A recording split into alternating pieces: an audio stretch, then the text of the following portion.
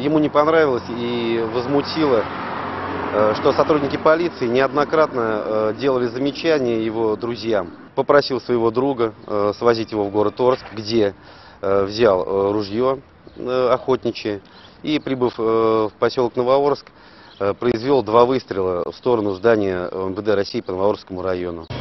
На машине подъехал, там развернулся, посмотрел, что здесь нет людей. А отъехав вон туда, Кто еще в машине находился, кроме подруга и их друг. сам водитель, да? Да.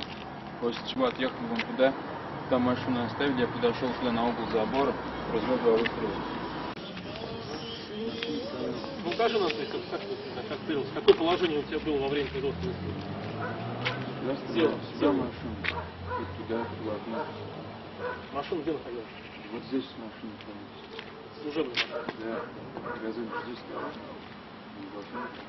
И расскажи, то есть, для чего производился выстрел? И, значит, э, в каком направлении? Направление в машину и в окно стрелял на втором этаже. А злобный был, пьяный был, в каком состоянии. Приехал, стрельнул, увел.